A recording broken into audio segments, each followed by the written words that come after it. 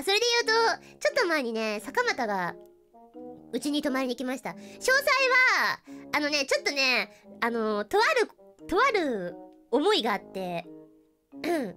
まあ、ちょっといろいろ計画があって、あれをしてたので、ちょっと詳細はね、まだ話さないから、ちょっと今度、坂本と二人が、まあ、坂本の枠とかで多分喋ると思うから、まあ、詳細はまだ話さないんですけど、まあね、坂本とは、2回寝た。2回寝た。